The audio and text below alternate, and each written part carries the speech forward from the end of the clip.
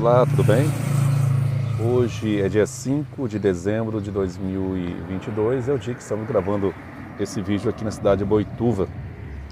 E queremos mostrar para você também algumas coisas interessantes, como é o caso aqui desses painéis nos muros, bem próximo da Caixa Econômica Federal de Boituva.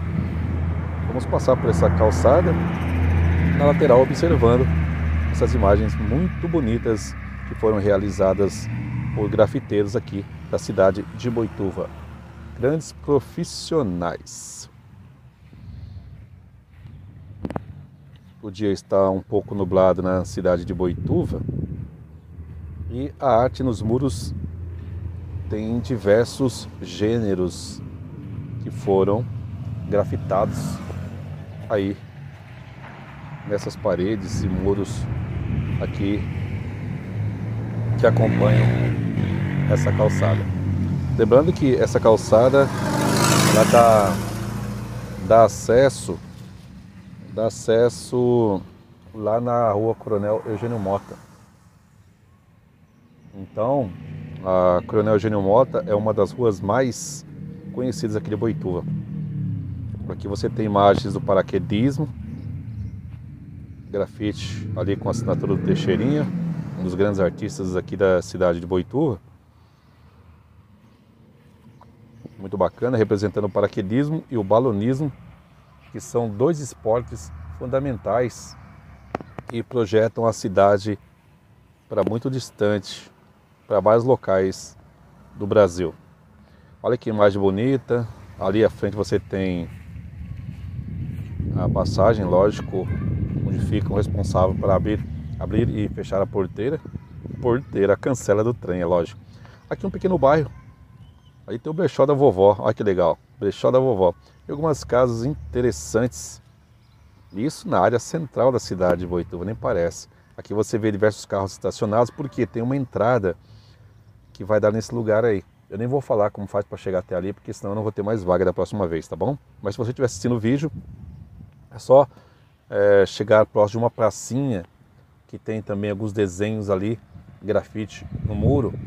E à direita você vai chegar uma entrada ali bem fechadinha que dá acesso ali. Novamente os painéis aí para você poder dar uma olhada, muito bonito, totalmente colorido e todos eles representando a cidade de Boituva.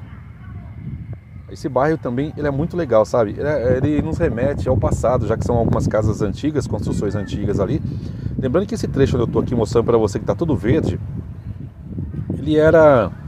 Nesse ponto haviam diversos trilhos de trens, onde se faziam divisões ali, colocava-se trens à esperas, né, ou vagões, coisa tal, ficava nesse trecho. Como foram tirados esses trilhos, ficou então esse campo verde, essa área verde aqui.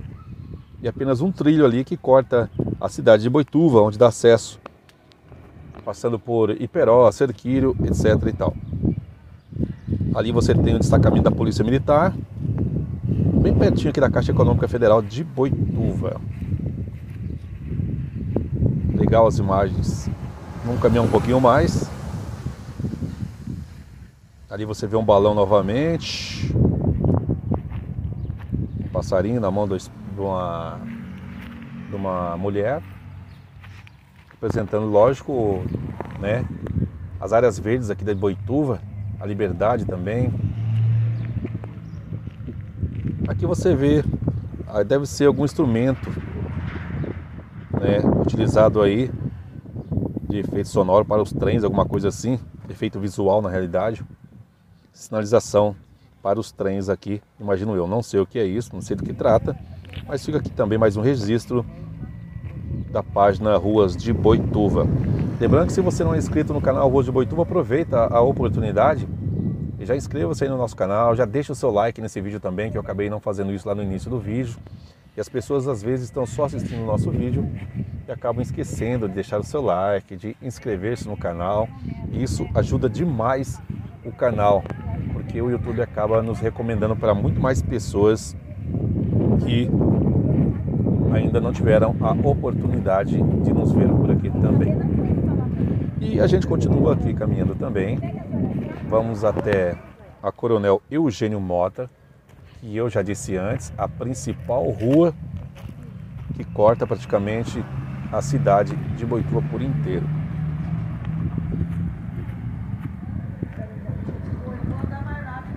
Ali do lado é, é, esquerdo você já vai ter a rodoviária. Mais adiante um pouquinho, aqui mais um pedaço dos trilhos para você ver aí que aqui tinha trem realmente, passa trem até hoje, não com a mesma constância de sempre, mas ainda se vê muito trem passando por Boituva sim. A maioria são trens de carga. Agora sim, chegamos próximos aqui da Coronel Eugênio Mota. Ali está a rodoviária de Boituva. Mais uma cancela onde se controla né, a passagem de pessoas, porque no momento que passam trens, tem que ter alguém controlando isso para evitar aí acidentes e tal. Olha que legal que está essa essa esse trecho aqui próximo da rodoviária. Aqui antigamente as pessoas quando vinham trem tinham que passar por aqui, ó, nessa passarela. Hoje está assim, está meio sujo, um pouco sujo, largado, abandonado, mas tudo bem. Não se usa mais isso aí. Aqui ficou muito bonito. Aqui dentro, ali onde fica o responsável pela cancela, sinalizando que se aparecer algum trem, ele corre, vai lá e fecha a cancela, evitando que os carros cruzem a linha férrea no momento. Ali você vê a cabina de trem de Boituva, aqui a rodoviária e aqui à frente virou um museu com alguns projetos legais. Numa próxima oportunidade eu vou entrar lá para mostrar para você como está ali dentro também. Aqui eu quero lembrar também que muita gente corta caminho pela Eugênio Mota, saindo aqui da Eugênio Mota e virando aqui à esquerda, onde eu estou. Tá vendo o carro saindo aqui? Tem uma rua, praticamente como se uma rua. E você vai adiante, virando à direita, você vai ter um acesso, vai sair perto do supermercado Concerc, aqui na cidade de Boituva. Vou dar uma voltinha aqui próximo da rodoviária para saber como é está o movimento por aqui, se mudou muita coisa na cidade. Olha ali. Aqui temos muitas lojas, é um forte aqui na cidade de Boituva. Muitas lojas, comerciantes, um vendedor de meios aqui também. Hoje está tranquilo a rodoviária, é jogo, tem jogo do Brasil hoje, dia 5 de dezembro de 2022, Fundo Social de Solidariedade de Boituva. E hoje é muito tranquilo, praticamente não tem ônibus aqui na rodoviária, lá ao fundo você vê a prefeitura municipal e à frente a praça, né? Aqui uma lanchonete, que já foi a loja do Mafez, o pessoal mais antigo aqui da cidade.